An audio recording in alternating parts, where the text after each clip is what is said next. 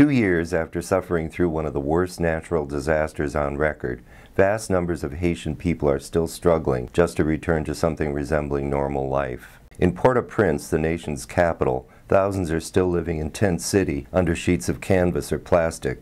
Rubble is everywhere, and destroyed homes litter the mountainsides. The National Palace stands in ruin. The dollars contributed to the American Library Association's Haiti Library Relief Fund are making a difference, but the need is so overwhelming that the association has to focus these efforts on specific, sustainable projects. Contributors have donated $55,000 for library reconstruction, and $35,000 has already been dispersed. The Haitian Open Society Foundation FOCAL has received $10,000 from the fund, which was used to purchase property for the construction of a new library for the Pied Poudre Cultural Center in Port-au-Prince. The Bibliothèque Haïtienne des Pères du Saint-Esprit, the oldest library in Haiti, received $5,000, which helped construct a temporary facility to house its archives, all of which was salvaged after the quake. FOCAL has funded several libraries, most recently the Darbonne Library in Léogâne, which was at the epicenter of the quake and roughly 90% destroyed. The library stands like an oasis of hope in a devastated community. It's uh, mostly about empowerment. It's about um, trying to help people help themselves. It's not creating libraries in abstraction and telling to the population, here is your brand new libraries. It's much more about looking for existing projects in community that are working, that are maybe struggling because they, they need some help. Bibliothèques Sans Frontières, Libraries Without Borders, a French non-governmental organization dedicated to building libraries, takes a similar approach, encouraging community commitment. The Haitian American Institute, a school and cultural center with some 2,500 students, has broken ground for a new library building. The earthquake destroyed a historic library on the campus, but the collection was saved. Actually, we are in the process behind you of rebuilding a space where we're going to have a temporary library.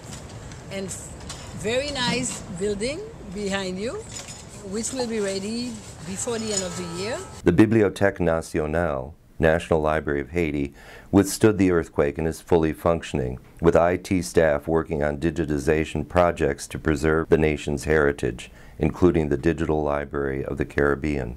Documents.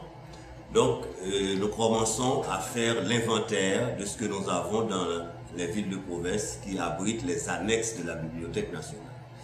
Et dans un deuxième temps, nous allons à la Bibliothèque mère de Port-au-Prince voir si nous pouvons passer à la numérisation.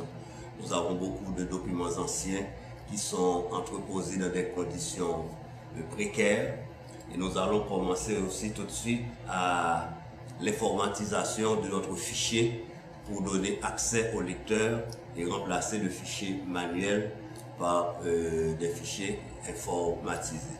In a country like Haiti, we are at the four. We can have any natural disaster. And if you want to preserve all documents, all information that we have in the national library.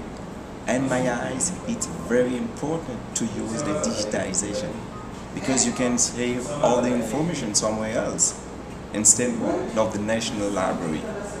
The National Library has received $20,000 from ALA's Haiti Library Relief Fund for a new library in Petit Goâve, a town that was virtually leveled by the quake.